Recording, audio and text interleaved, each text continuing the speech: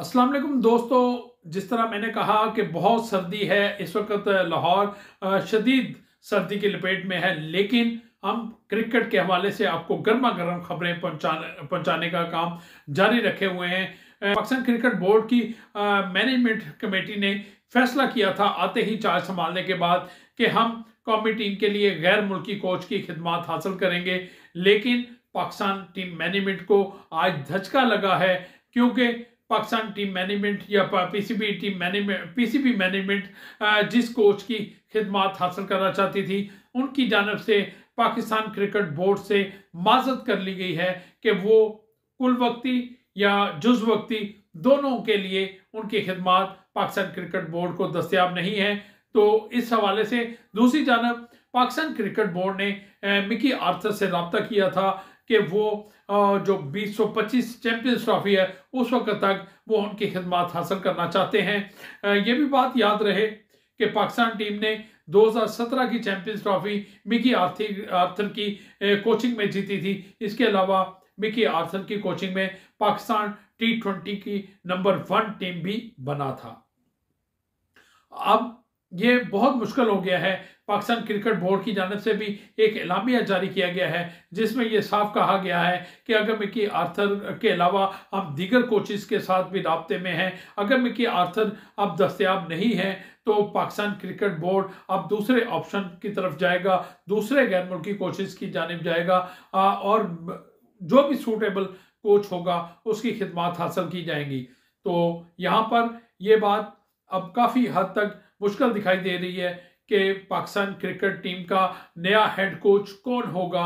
इस हवाले से एक क्वेश्चन मार्क खड़ा हो गया है जो पीसीबी मैनेजमेंट कमेटी है, उसके सामने, क्योंकि पाकिस्तान क्रिकेट बोर्ड की जानब से जो बहुत सारे फैसले किए जा रहे हैं, जिसमें अबूरी सिलेक्शन कमेटी भी बनाई गई थी। अब अबूरी सिलेक्शन कमेटी को मुस्तकिल बुनियादों पर भी करना है या नहीं करना, इस हवाले से, या सिलेक्शन कमेटी में कोई नए बंदे शामिल करने हैं, इस हवाले से भी जो पीसीबी मैनेजमेंट कमेटी है, उसने फैसले करने हैं। लेकिन वो फैसले कब होंगे? वो अब फैसले पाकिस्तान सुपर लीग के दौरान होंगे, क्योंकि न्यूजीलैंड के खिलाफ जो होम सीरीज़ है, इसको खत्म होने के बाद अब पाकिस्तान सुपर लीग का एडिशन शुरू होगा, जिसके मैचेस 13 फरवरी से 19 मार्च तक लाहौर, कराची मुल्तान और रावलपिंडी में उसके मैचेस खेले जाएँगे।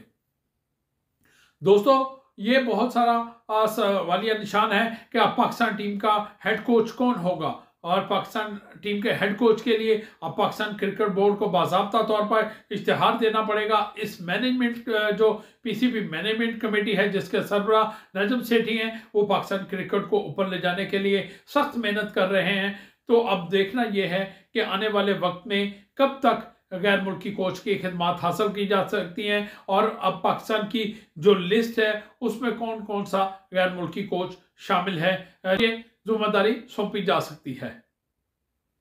नाजिन मैं आपको ये ब्रेकिंग न्यूज़ देने जा रहा हूँ कि ये कि जो मिकी आर्थर है, उन्होंने पाकिस्तान क्रिकेट बोर्ड के साथ और पाकिस्तान क्रिकेट बोर्ड ने मिकी आर्थर के साथ किसी किस्म का मुआदा करने से माजत कर ली है। दोनों जानब से ये माजत हुई है कि जिस तरह नजम सेठी ने मिकी आर्थर को ऑफ़र की थी, उस ऑफ़र में ये था कि रवा साल पाकिस्तान टीम ने एशिया कप खेलना है, मेज़बानी करनी है पाकिस्तान ने, और पाकिस्तान की मेज़बानी में एशिया कप खेलना है, पाकिस्तान की टीम ने एशिया कप के अलावा जो भारत में वनडे वर्ल्ड कप हो रहा है, उसके लिए पाकिस्तान टीम ने उसमें शिरकत करनी है, उसकी तैयारी है। उसके साथ साथ 2025 की चैंपियंस ट्रॉफी की तैयारी के हवाले से भी गैर मुल्की कोच को ज़िम्मेदारी सौंपी जानी थी, लेकिन अब कोई गैर मुल्की कोच होगा या नहीं होगा, लेकिन ये बात कन्फर्म है कि सकलैन मुश्ताक और उनके साथ काम करने वाली टीम को अब न्यूजीलैंड के खिलाफ जो सीरीज़ का दूसरा मैच तेरह तीसरा मैच तेरह जनवरी को खेला जाना, उसके बाद उन लोगों ने घर चले जाना है। आपसे दरख्वास्त करूँगा एंड पे। हसब मामूल कि मेरे चैनल को सब्सक्राइब करें और लाइक करें।